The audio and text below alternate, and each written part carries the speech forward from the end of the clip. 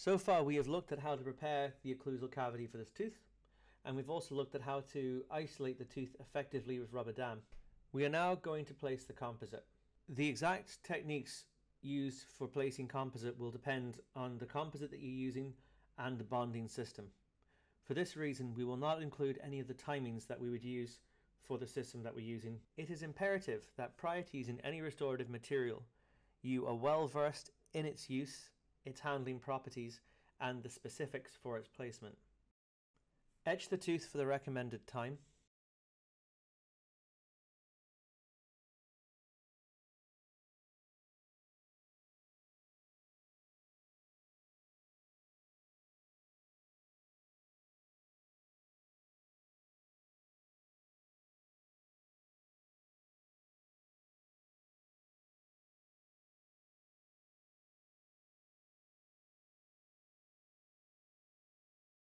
Following this, thoroughly wash away the etch, ensuring that you use high volume suction whilst you're doing this.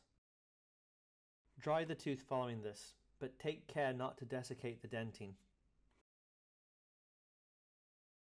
Once you have done this, it is time to bond the tooth.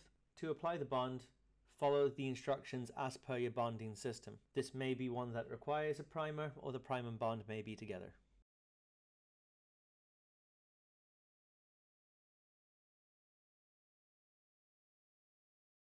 Gently air thin the bond.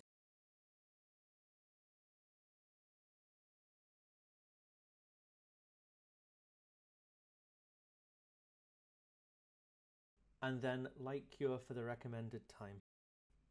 When restoring the cavity with a composite material, it is important that we incrementally fill the cavity with composite and that we light cure the composite after each increment is placed.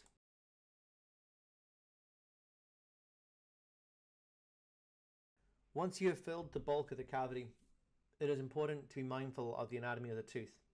When placing the final increments on the tooth, be mindful of what the functional and aesthetic anatomy of the tooth will be. Incorporating these into the final fills of the composite will minimize how much adjustments you need to do to the tooth once it has been finished. For these reasons, it is imperative that we know our dental anatomy well.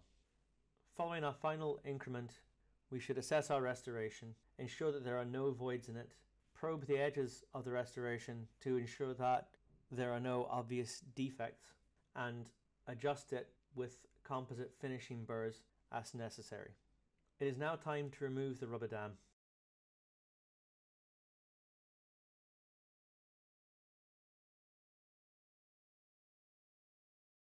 Following this, we should floss our contact points to ensure that no bond or composite have become lodged there. And then we must check the occlusion with articulating paper to ensure that there are no high spots. It is also important to ask the patient whether or not they can feel their occlusion to be different than it was prior to the procedure. The patient must also be consulted on the final appearance of the tooth. If there are final adjustments to be made, make them at this stage and then polish the tooth to ensure that it is smooth. We have now completed restoration of this tooth.